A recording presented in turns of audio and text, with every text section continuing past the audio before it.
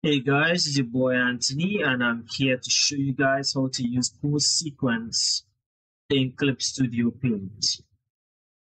The latest version of Clip Studio is the only one you'll be able to use pose sequencing. And the pose sequence that they offer you was basically two in general. Right? You will not be able to reanimate them or anything like that, which is a shame. But you'll be able to use them for animation. You can't make them into what you want them to be, but you can use them to do animation. You understand? Moving on. Let's not waste time here. First thing first, while you're in Clip Studio, you want to come here to your side where you have all your materials. As you can see my cursor, you want to click that open a little arrow to the top right hand corner. You see it? Hope you could, you know, see it. Alright, I'll zoom that up. So you see, uh, you can't see I'm blinding you. So right here, you see 3D. You want to click on 3D. And inside of here, this is what will come. These two here is what will come. In Clip Studio 3.1.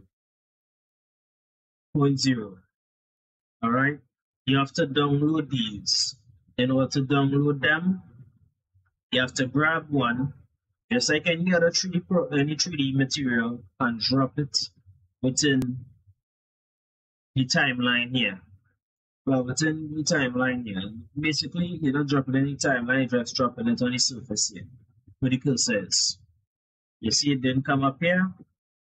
Alright. Reason for that is because you didn't activate it on the first frame. So you want to go on the first frame here, you want to right click, and you want to hit it, backflip, right. I will show it again, so you know, you can see I again understand.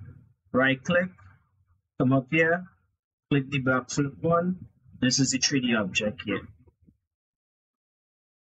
Only this one here. Only the backflip. So you choose an angle by clicking and grabbing where you want to start the backflip. This is the backflip one and the other one is the run cycle one. This one have more frames than the other one that you're going to download. You understand? You have to make sure you have Clips, you have a Clip Studio account, so you can download them off the Clip Studio store. Right? So, as you can see here, is the backflip one. In order to see this, you have to go into the, the sequence. In order to go into the sequence of this, you want to go here. You want to see the animation sequence, you have to go down here adjust body shape and size. So when I click this little icon underneath here, this is basically the settings for it. Without this pose sequence inside of here, you're not going to see pose sequence in general. You're not going to see it at all. Right? Moving on. So inside of here now, pose sequence, you're going to click pose sequence and here, right here, which I will zoom up for you guys, I bring it out. That's what you're gonna see. You see it here on one, the mic says right now, it's on one.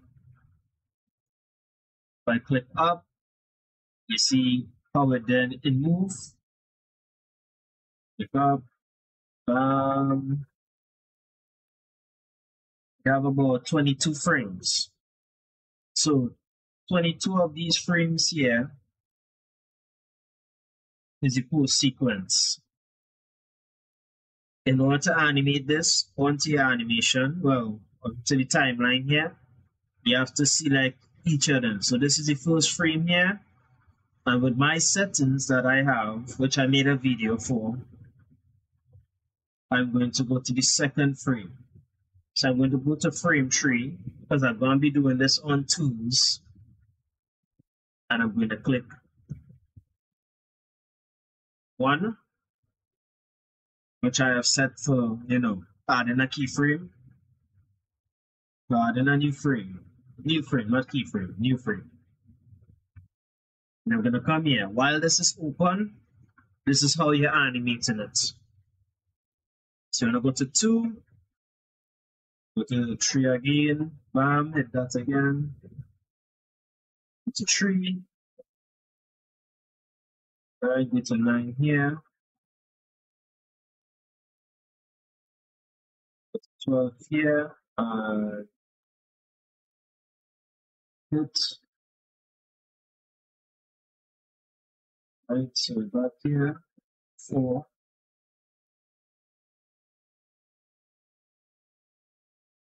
Five.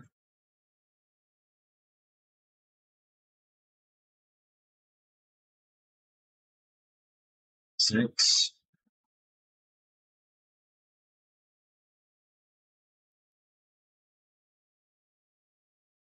Seven. And that's all basically what you're doing when you're going forward. So this is just a quick tutorial in showing you guys i don't want to waste you guys time I know everybody attention span very short these days, so just like mine's too, so I want to go through all that. Alright, so so far that we have, right? That's what we have right there. Once you play it, that's what you see. Not the full animation, but I'll show you guys a snippet on how to animate with it. Okay? So if you guys like what you see and you want more, please like and subscribe and, you know, follow for more. Latest for now. You guys stay safe. Wherever you are in the world, you guys rock. Thanks for clicking on this video. I am out.